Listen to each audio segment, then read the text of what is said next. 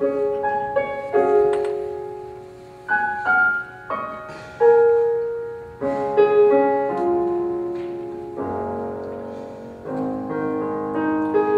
heard it said that people come into our lives for a reason, bringing something we must learn, and we are led to those who help us most grow if we let them, and we help them in return. Well, I don't know if I believe that's true, but I know I'm who I am today because I knew you.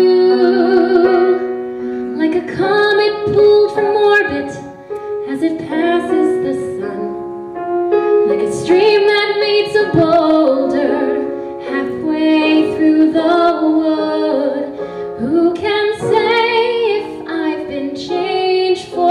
better? But because I knew you, I have been changed for good.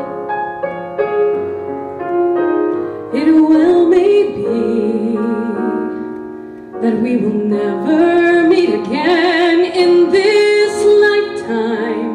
So let me say before